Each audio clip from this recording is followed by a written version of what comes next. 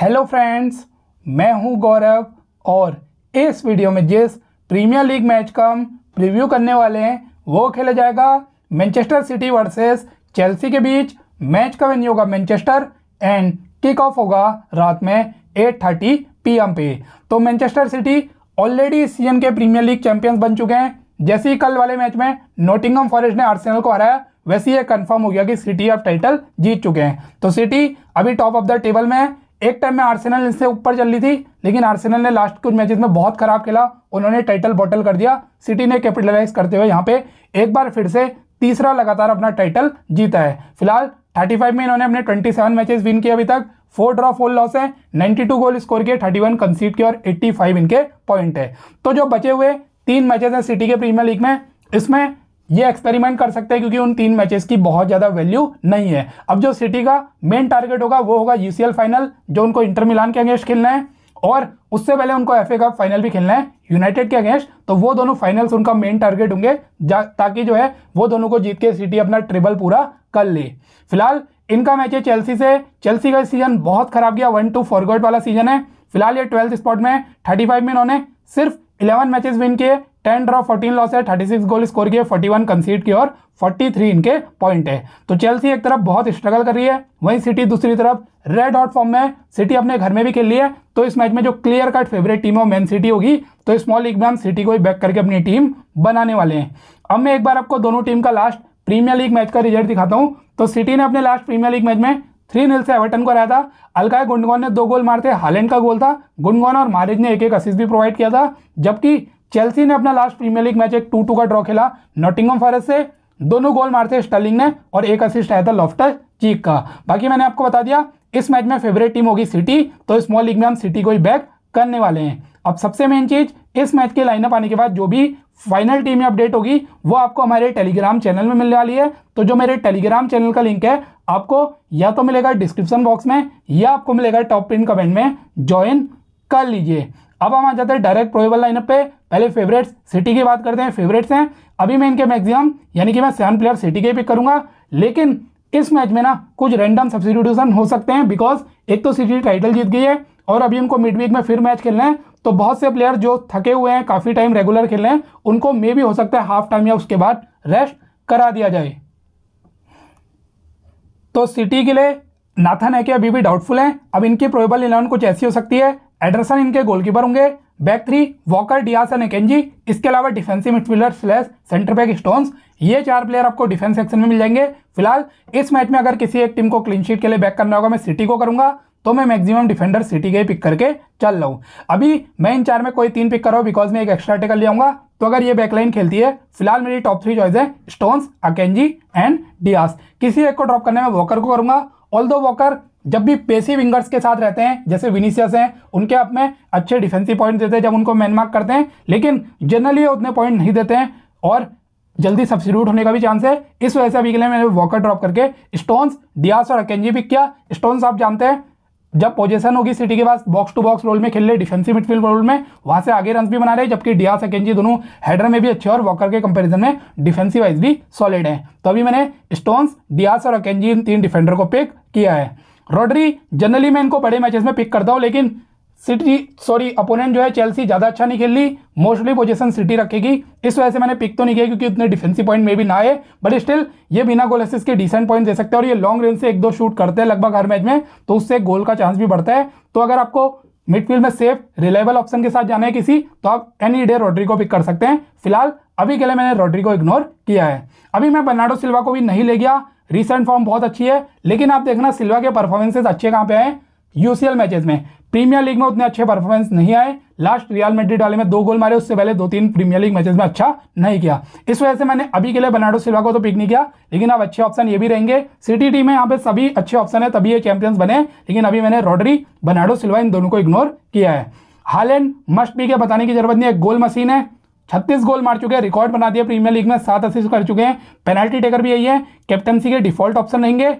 मैं मारेज और गुंडगॉन को भी 100 परसेंट रिकमेंड करूँगा, मारेज भी एक गोल स्कोरर है गोल असिस्ट करने में केपेबल है, और गुंडगॉन की रिसेंट फॉर्म प्रीमियर लीग में बहुत बहुत अच्छी है। इनफैक्ट जो लास्ट प्रीमियर लीग मैच हुआ, उसमें इन्होंने दो गोल और एक असिस्ट प्रोवाइड किया है। कॉर्नर्स फ्री किक भी लेते हैं तो मैं गुनगोन को ही पिक करके चल रहा हूँ। अभी मैंने फोडन को ही पिक किया, क्योंकि रूमर सारे मे भी ग्रिलेश डिब्राइना दोनों रेस्ट करने वाले हैं। फोडन भी एक अच्छे गोल स्कोरर है तो अभी मैंने इनको पिक ज़रूर किया बट अगर आपको लगता है फोडन का गोल असिस्ट नहीं आएगा तो आप सिंपली फोडन हटा के रोटरी को पिक करके चल सकते हैं, जो एक बहुत रिलायबल ऑप्शन होने वाले हैं। या हल्के से रिस्क टेकर है आप चाहे तो बर्नाडो सिल्वा के साथ भी जा सकते हैं। बट फ़िलहाल, अगर फोडन खेले, मैं इनको पिक करके चल रहा हूँ, क्योंकि चेल्सी भी उतना अच्छा नहीं खेल रही अटैकिंग वाइज भी और डिफेंसिवली बहुत ज़्यादा अच्छा नहीं कर रही। हाँ अगर बर्नाडो सिल्वा के प्लेस में केविन डिब्राइना स्टार्ट करते हैं फिर वो हंड्रेड रिकमेंड करने वाला हूँ। तो ये मैनचेस्टर सिटी की प्रोबेबल इलेवन थी लगभग सभी चीज़ें मैंने यहाँ से आपको डिटेल में एक्सप्लेन कर दी। पेनल्टी हालैंड लेंगे और ये मैंने सिटी के सीएन के स्टेट लिखे हैं प्रीमियर लीग के। अपोनेंट की बात करने से पहले एक बार फिर से रिमाइंड दिला रहा हूँ, इस मैच की फाइनल टीम अपडेट के लिए आपको मेरे टेलीग्राम चैनल से ज्वाइन करना है। तो जो मेरे टेलीग्राम चैनल का लिंक है, आपको या तो मिलेगा डिस्क्रिप्शन बॉक्स में, या आपको मिलेगा टॉप पिन कमेंट में ज्वाइन कर लीजिए। अब हम बात करते हैं चेल्सी की। तो केपा इनके गोलकीपर होंगे। मेरे अकॉर्डिंग ये बहुत ज़्यादा टेस्ट होंगे। केपा मेंडी जो भी खेलेगा तो मैं गोलकीपर इनका ही पिक करूँगा। बैक थ्री मोस्ट प्रॉब्ली ये खेलेंगे ताकि डिफेंसिव सॉलिडिटी मिले। फोफाना थियागो सिल्वा और चालोबा तीन सेंटर बैक इसके अलावा हॉल और एक्सपर्ट लिक्विडा दो विंग बैक्स हैं। और ये पाँच प्लेयर आपको डिफेंस सेक्शन में मिल जाएँगे। फ़िलहाल मैं एक डिफेंडर अभी के लिए शोली ले आ रहा हूँ, लेकिन अगर आपको लग रहा है सिटी इनकी थ्रैशिंग कर देगी चार पाँच गोल मार देगी जो सिटी करने में केपेबल है तो आप चाहे तो इनके सारे डिफेंडर स्किप भी कर सकते हैं। उस केस में हो सकता है कुछ कुछ चेल्सी के डिफेंडर नेगेटिव में पॉइंट दे दे। बट अभी के लिए मैं एक चेल्सी का डिफेंडर ले आ रहा हूँ और वो मेरी चॉइस है वेस्ली फोफाना ऑल दो थियागो सिल्वा भी इंप्रेसिव ऑप्शन है, आप इनको भी पिक कर सकते हैं, लेकिन मैं फोफाना के साथ जा रहा हूँ। अगर इनके main choice full backs wing backs खेलते जेम्स और चिलवेल तो मैं उनमें से किसी को कंसिडर करता। बट हॉल एच इक्वेटा ज़्यादा ट्रस्टवर्दी नहीं है। इस वजह से मैं फोफाना के साथ गया, जो डिफेंसिवली भी बहुत इंप्रेसिव है और हेडर में भी सॉलिड है। आप चाहे तो इनके प्लेस में मे भी थियागो सिल्वा ले आ सकते हैं, या आप सारे डिफेंडर स्किप भी कर सकते हैं। मिडफील्ड थ्री होंगे लॉफ्टस चीक एंजो और थोड़ा एडवांस रोल में गेलेगर फ़िलहाल अभी मैं मिडफील्ड में एनजो को सबसे पहले पिक करूँगा वेरी वेरी रिलायबल ऑप्शन है। बताने की ज़रूरत नहीं है, बिना गोल असिस्ट के गारंटीड 25 30 सेव पॉइंट आती हैं। आई थिंक इस मैच में और भी डिफेंसिव पॉइंट आ सकते हैं, बाकी क्रिएटिविटी वगैरह भी ऑफ़र करते हैं। तो मैं एनजो को पिक कर रहा हूँ। अभी मैंने लॉफ्टस चीक को इग्नोर किया और मैंने सेम विथ गैलेगर को भी अभी के लिए इग्नोर किया है। क्योंकि मैं मिडफील्ड में दूसरा प्लेयर जो पिक कर रहा हूँ, वो है रहीम स्टर्लिंग स्टर्लिंग अच्छे टच में नज़र आ रहे इनफैक्ट लास्ट मैच में इन्होंने दोनों गोल स्कोर किए थे। और आप जानते होंगे former Chelsea sorry former City player है, अपने प्रीवियस क्लब ओल्ड क्लब के अगेंस्ट खेलेंगे तो आई थिंक एक्स्ट्रा मोटिवेटेड होंगे। मे भी स्टर्लिंग अच्छा कर सकते हैं, लेकिन अगर आप स्टर्लिंग पिक करें ना तो अगर ये गोल असेस करेंगे, तभी पिक करना, अगर आपको लग रहा है गोल असेस करेंगे, क्योंकि ये बिना गोल असेस के ज़्यादा पॉइंट नहीं देने वाले। मे भी मेरे अकॉर्डिंग एक आध गोल शायद सिटी ने चेल्सी निकाल ले, क्योंकि सिटी भी उतना ज़्यादा टफ मैच मतलब उतनी हार्ड फाइट नहीं देगी, वो भी लाइटली लेंगे, क्योंकि उनके लिए ज़्यादा कुछ बचा नहीं है सीज़न में। इस वजह से मैं अभी के लिए स्टलिंग पिक कर रहा हूँ बट आपको लग रहा है फ्लॉप होंगे तो आप सिंपली गेलेगर के साथ जाना, जिन पे फ्रैंक लैम्पार्ड बहुत ट्रस्ट करते हैं मोस्टली टाइम फुल 90 मिनट खिलाते हैं डिफेंसिव वर्क भी करते हैं, इनका वर्क रेट अच्छा है, और ये अटैकिंग रिटर्न भी दे सकते हैं। इनफैक्ट इन्होंने लैम्पार्ड के अंडर में जब से वो आए हैं, दो गोल भी स्कोर किए हैं। फ़िलहाल मैंने स्टलिंग पिक किया, आपको लग रहा फ्लॉप होंगे, आप गेलेगर के साथ जा सकते हैं।